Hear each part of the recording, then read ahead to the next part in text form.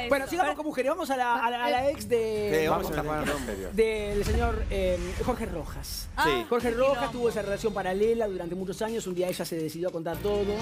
Y bueno, ahora Ella se- Barbie Muriel ella se vuelve a hablar. Sí, novia, novia. Y ahora vuelve a la Sí. ¿por qué? Porque pasaron cuatro meses de donde explotó ella mediáticamente contando que tenía una vida paralela con Jorge Rojas.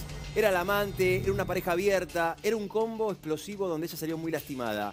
Tres meses después quiere hablar y lo que hace ahora es manifestar realmente quién es Jorge Rojas. Ustedes recuerdan que al principio ella hablaba con una mezcla de amor y odio. Porque ella ahora, creía que la cosa podía seguir. tal cual, Rodri. Él Ahora volvió es- con la mujer, que se quedó Él con la volvió con la mujer y la mujer le mandó, y en esta nota exclusiva, la mujer le mandó un mensaje en las últimas horas ¿A para callarle un poquito. La No, aparte, acordate que Jorge Rojas hizo un posteo enorme cuando ella sale a Que lo hablar, borró después. desconociéndola un poco. Sí, de lo borró. desconociéndola, manera. la desconoce, la gosteó. La gosteó. Eh, la gosteó, pero la relación existió y ella hoy dice él es una basura, ¿no es cierto? Una basura, un perverso, una persona que no es buen padre, un hombre que es cobarde. Es una lista larga de cosas sobre Jorge Rojas Pero y el verdadero lindas. Jorge Rojas para muchos. ¿eh? A ver. ¿Cómo estás vos?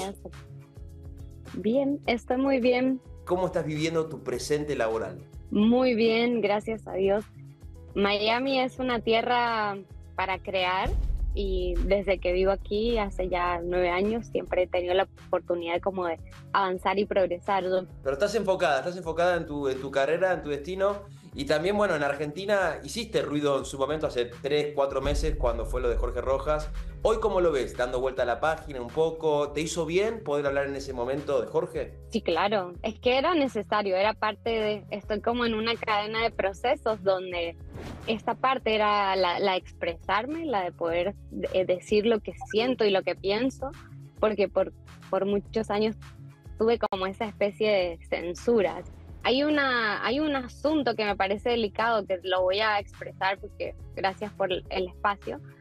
Él tiene una fundación donde profesa como el tema familiar incluso cuando él se dirige a la audiencia y todo siempre dice, bueno, acá en familia, juntos en familia.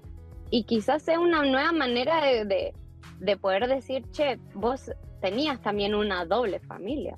Imagínate que él está diciendo, sé, sé un buen papá, sé un buen esto, sé no- cuando en realidad, en, la verdad, en el escenario de la verdad, no, no trabaja de esa forma No es un buen no padre. acciona.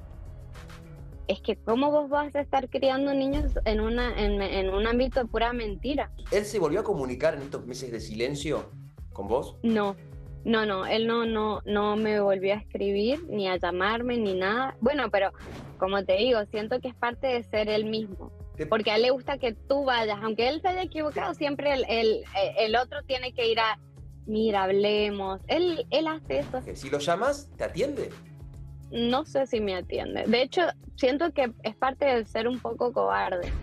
Desde él de no decir, che, la verdad que se fue un poco todo, te pido disculpas, Fuiste el karma, fuiste el karma de lo que él mismo sembró. totalmente. ¿No tuviste miedo? Hoy, hoy con el diario de mañana, ¿no tuviste miedo a una amenaza de él o de alguien de su entorno que te diga callate, nena, no hables más? Si esto hubiese sido cinco o siete años atrás, yo, olvídalo, o sea, hubiese sido mm, terrible. Él me hubiera amenazado, seguro que sí, y también hubiese puesto, me hubiese, más que amenazado, me hubiera manipulado desde el miedo, que es, lo, es su mejor herramienta. Es un hipócrita de su propia mentira cuando canta, entonces. Totalmente.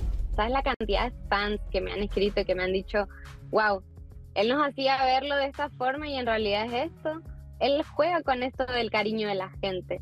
Que la gente de verdad se encariña, la gente idealiza y e- él- esa conexión con el público, él no, no es lo que no es lo que dice, no es lo que canta, porque no es lo que hace. ¿Es una buena persona Jorge Rojas? No, no.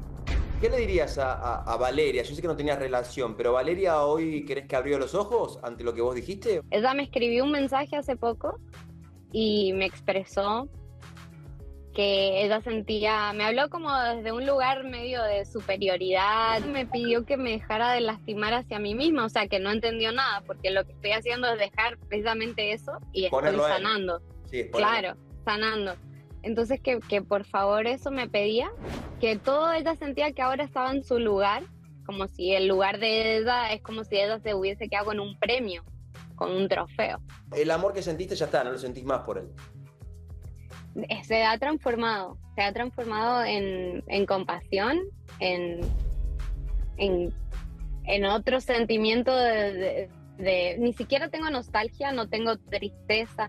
Sí hay momentos que me dan como los recuerdos, pero el amor ha sido transmutado y, y es importante para, para mi evolución, así que agradezco que haya sido así.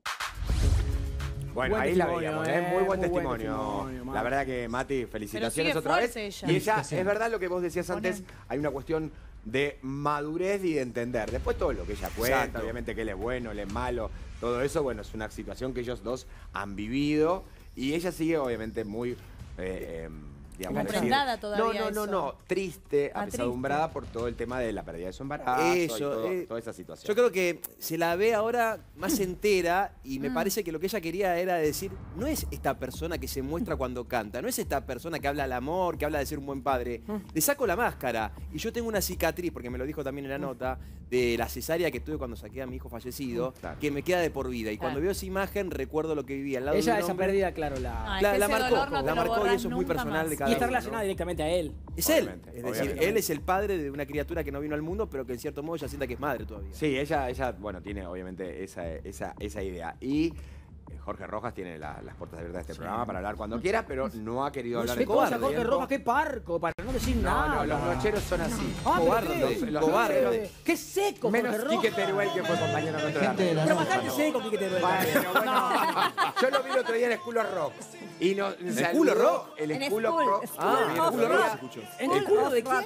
Culo rock, dijo, el culo rock lo vio. Rock. No, eh, Jorge Rojas, eh, habla, querido, porque él habla. Las mujeres, como siempre, son las que cuentan y los tipos. Y, Claro. y Y después él dijo, ella dijo que él no ha vuelto a hablar con ella, entonces le tiene un pánico. Él desapareció. Es un cobarde, le dijo. Bueno, está bien. ya Y está. hace bien. Yo que él Jorge no aparecería y tampoco. el doctor Castillo. Ah, eh, eh, unidos por el pecado, por el delito. Sí. Eh, sí, Y, por y sigue la firma. Sí, que sigue la firma.